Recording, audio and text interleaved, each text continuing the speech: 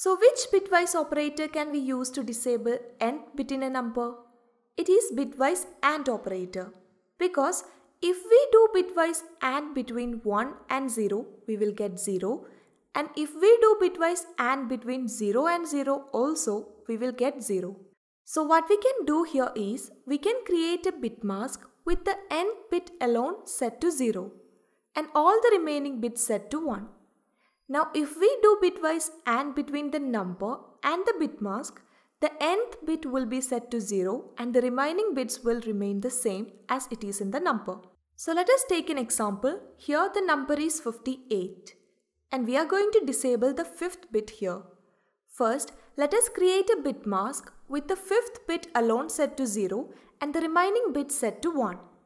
So how can we do that? From our previous videos, we know how to create a bit mask with nth bit alone set to 1 with the remaining bits set to 0.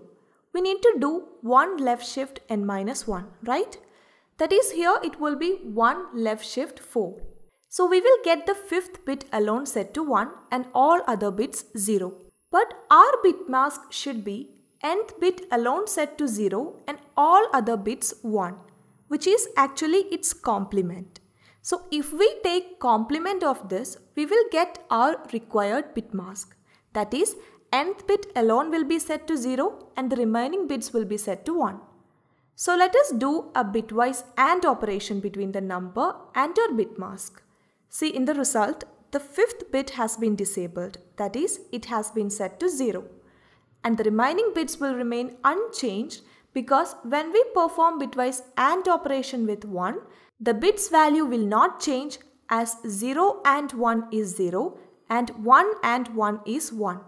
So after disabling the fifth bit, the value in num will be 42.